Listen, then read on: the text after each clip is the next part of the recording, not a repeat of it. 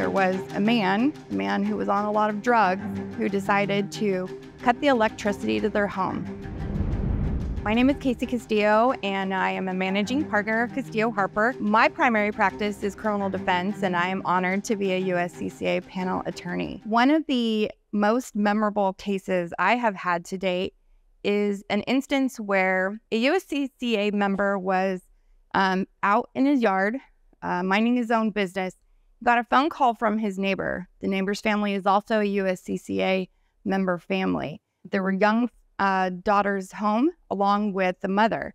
Um, at some point, there was a man, a man who was on a lot of drugs, who decided to cut the electricity to their home. He tried to break into their house at numerous entry points and finally decided that he was going to make entry into the homeowner's home. He decided to do this through the garage. The mother of that residence called my client, the neighbor. The neighbor went to the home and ultimately ended up confronting that particular individual. There was a shooting. That shooting took place at numerous points all over the residence. I received the call from USCCA on the critical incident hotline. I was able to talk to not only the client who had shot, but the homeowner of the house that the man had broken into. Police had arrived. That particular homeowner wanted me to help with a limited consent to search form. I was able to do that over the phone. For the other individual, I was able to prevent him from going to jail, prevent him from going to the police station, and ultimately ended up helping him give a very good, very detailed statement to law enforcement. He was not charged with any crimes. Because that man did not end up dying, he ultimately was charged with residential burglary. The twist on this case is he then decided to sue my client for shooting him, although he was being prosecuted.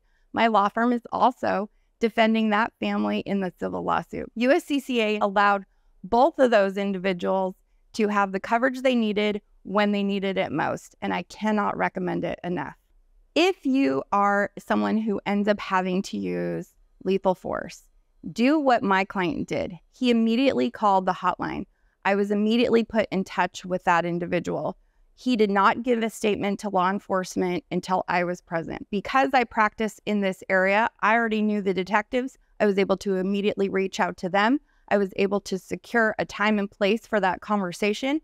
It did not happen when my client was worried or scared or having that super adrenaline rush from being in that lethal force incident. As a CCW holder, um, I can't think of something that is more important besides your training um, than to have someone who has your back not only in terms of the legal aspect but the financial aspect because no one has a savings account for an attorney. When it comes to self-defense you need to be educated trained and insured. Learn more about what you can do to protect yourself and your loved ones today